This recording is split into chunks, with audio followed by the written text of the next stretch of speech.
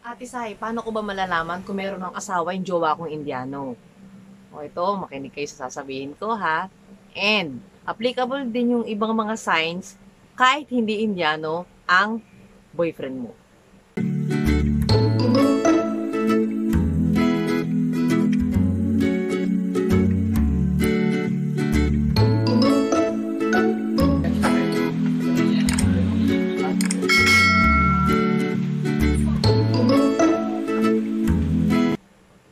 Assalamualaikum guys! Welcome back to my channel, Tan Courage Vlogs. Kumusta kayo guys? Inshallah nasa mabuti kayong kalagayan. Lagi ko pinapaalala, don't forget to say Alhamdulillah all the time.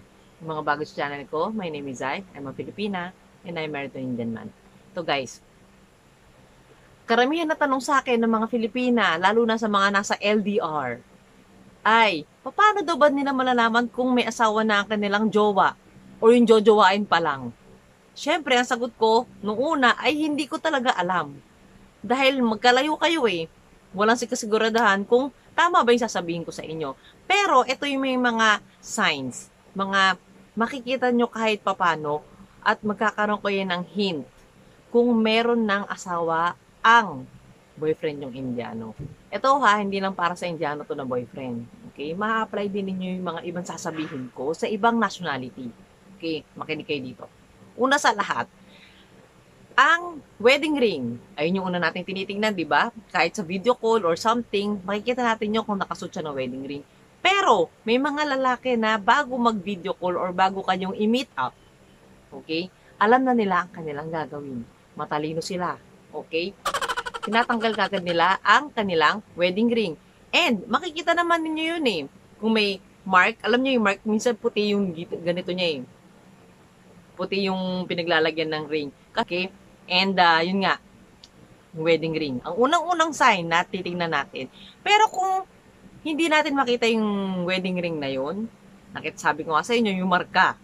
Okay? At kung wala pa din, baka naman hindi siya married. Okay? Ito pa yung mga ibang mga signs na baka married nga ang boyfriend mong Indiano. Ito. Sa FB niya, wala siyang friends doon. Okay? Kung may mga friends man siya, mga Pilipina din. Makalandian niya online. Yun. Magtaka ka na.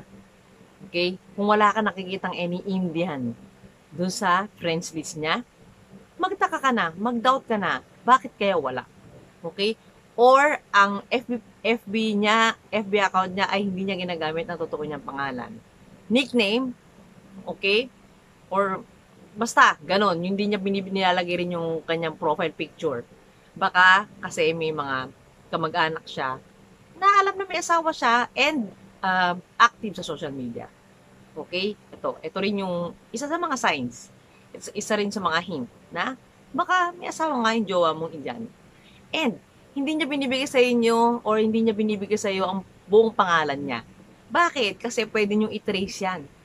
Okay? Kung alam nyo kasi sa India kasi may mga record sila ng mga de- death, uh, death record, birth record, marriage record, pero hindi natin alam kung paano natin i-access. Ayun yung gulong-gulo yung mga Pilipina nating mga kabayan. Paano talaga nila malalaman. So, um, hindi nila binibigay yung full name nila kasi baka may chance na makita nyo ang record nila kung married sila sa bansa nila. Okay, eto pa, hindi nila binibigay sa inyo kung saan nga ba sila nagtatrabaho. Yung full name ng company kung anong posisyon nila doon. Kasi nga, pwede tong, uh, pwede nyo tuwa, tawagan yun, tanungin nyo kung may pamilya na yun, ganito, ganyan. Pwedeng pwede yun ninyo malaman. Doon lang sa, kapag tinanong nyo yung company name niya at hindi niya sinabi, mag-doubt na kayo. Bakit hindi niya sasabihin, di ba?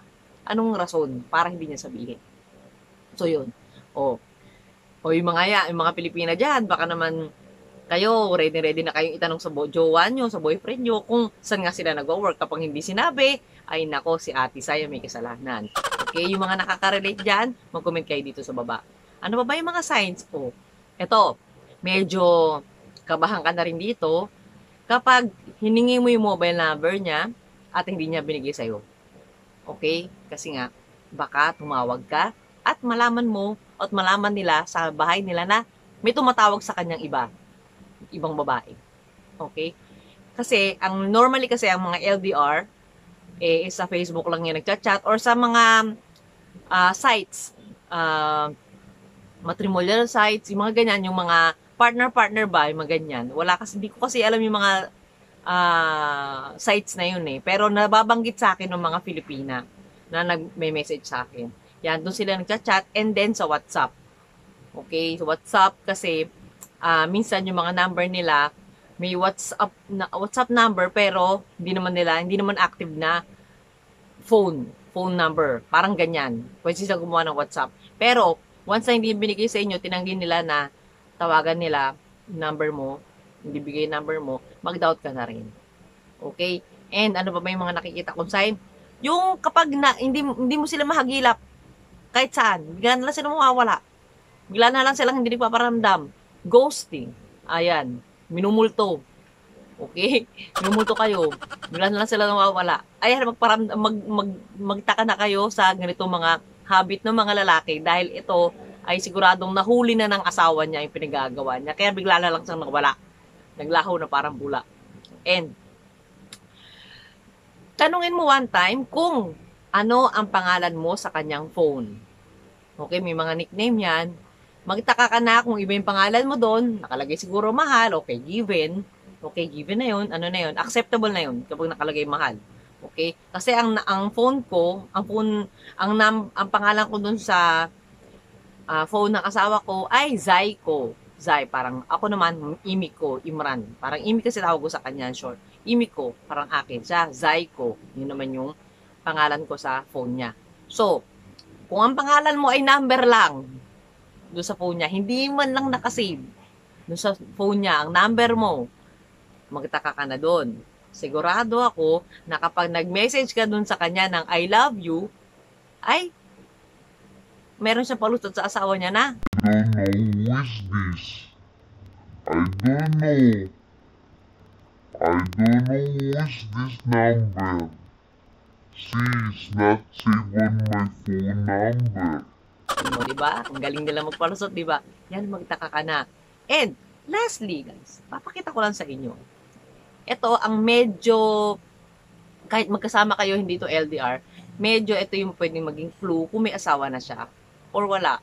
Ito ay hindi ko sinasabi na 100% na malalaman nyo kasi minsan hindi na nilalagay dito ang pangalan. Okay, hindi pa nila nare-register. Ito ang passport ng, yung old passport ng anak ko. Okay, Indian passport niya. Papakita ko lang sa inyo yung likod. Okay, ito ha, dito, dito ko na ilalagay. Tatakpa ko ibang details para, syempre, personal details na yun. So, ang nakalagay kasi sa unang line is, nakikita nyo rito, is li, uh, name of father, legal guardian. Ayun yung unang line. And second line is name of mother, nandun yung pangalan ko. Okay, andun yung pangalan nanay niya. And third line, since bata pa yung asawa, ay yung anak ko, nakalagay doon name of spouse. Okay, andun yung nakalagay yung spouse niya. Doon sa passport ng asawa ko, na si Imran, nakalagay yung pangalan ko doon sa name of spouse. Okay, dito yan sa likod, back page ng uh, passport nila. Okay? Itong likod.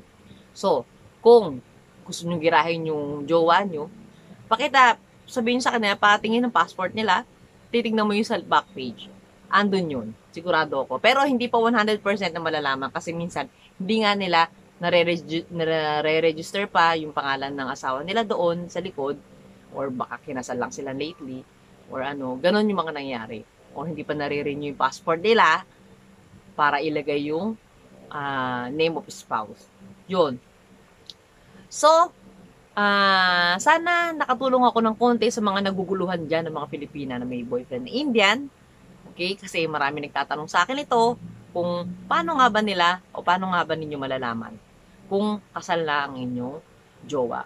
Ito pa, ang number one na dapat ninyong paniwalaan ay yung instinct nyo mismo. Malalaman nyo yan. Mararamdaman nyo yan. Kung sa bawat kwento niya, eh parang alam na alam na niya yung buhay ng isang mag, uh, tatay. Ayan. Ramdamin nyo, hindi yung puro puso yung pinapairal nyo. Pairalan din ninyo itong utak. Yan. Kasi madali lang naman din mahuli kung may asawa na siya o wala. Minsan nga lang magaling sila magtago at minsan madali tayong mapaniwala. Yun lang. Sana guys may natutunan kayo ngayon sa channel ko. Till our next vlog. My name is Zai. Don't forget to like, share, and subscribe to my channel. Okay guys? Bye!